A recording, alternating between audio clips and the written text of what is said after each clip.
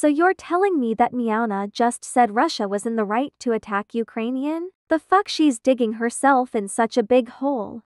Here is the video for proof. I got the vid from Jaws Pinnerf since Meowbahh is now private. Now personally Russia had a reason for it. You have to be kidding. Russia did what it needed to. She has also now came out as part of the Eltka Plus making up a fake gender which is honestly stupid cat gender the fuck? Wasn't she not against it few weeks ago while more to the fact of gay? Being lesbian, bi and pan etc. Here is some proof I have found. The next part will contain trigger warning. Please make sure to read them.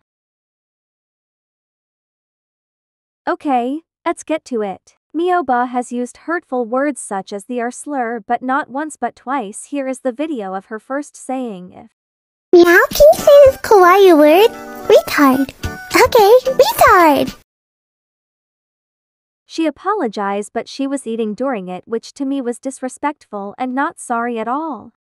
Here is the vid. Meow just wanted to make a quick video to apologize to the disabled fandom. Mm. Meow. Meow did not realize that our slur was a slur used against mentally challenged people. Um.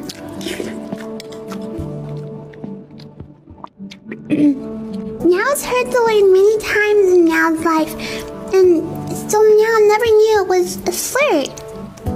Arigato for educating Meow. And the fact she had the audacity to call it a disabled fandom which again is disrespectful and disgusting. Again remember the trigger warnings.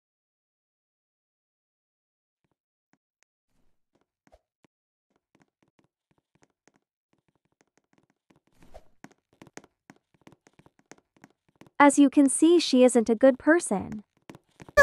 Aishitaimasu?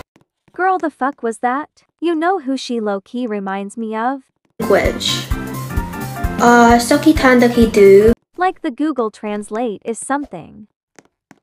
That's all for now. If you have any more info on Meowbahh, please send it over to me on my Insta at Otakubuni.